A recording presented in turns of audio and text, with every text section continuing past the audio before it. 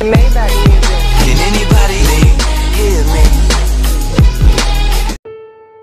Good morning guys तो आप लोग कैसे हैं? आई होप आप सब अच्छे होंगे बट आप लोग देख सकते हैं मेरा तबीयत ठीक नहीं है आई मेरे आँखों में इन्फेक्शन हो गया, देख सकते हैं, आँख पूरा रेड रेड हो गया है। तो सिर्फ़ मेरा नहीं, मैं चार पाँच क्लासमेट का भी हो गया। तो ये बोल रहा है, एक दूसरे को देखने में हो रहा है, पता नहीं कैसा है। ऐसे ये इन्फेक्शन ज़्यादा से ज़्यादा अभी एक दूसरे को होते जा रहा होते जा रहा है सबका मतलब जितना भी है सबका हो रहा है। तो बहुत पेनफुल है ये, बहुत दर्द कर रहा है थोड़ा थोड़ा फीवर भी आ रहा है।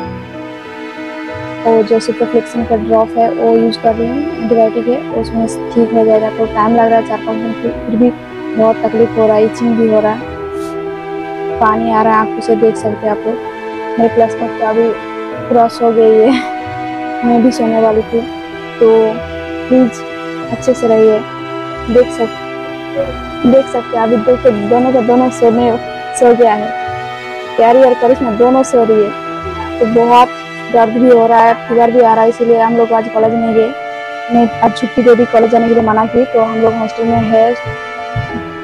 तो हॉस्टल पास ही में है तो हम लोग सो रहे हैं अभी, क्योंकि ब्रेकफास्ट हो गया तो लंच बाद में मिलेगा तो अभी सबको सब सोने जा रहा है दवाई लगा के तो मैं भी सोने जा रही हूँ, क्योंकि बहुत दर्द भी कर रहा है और फीवर भी आ रहा है बॉडी पेन भी हो रहा है तो प्लीज़ आप लोग अच्छे से रहिए।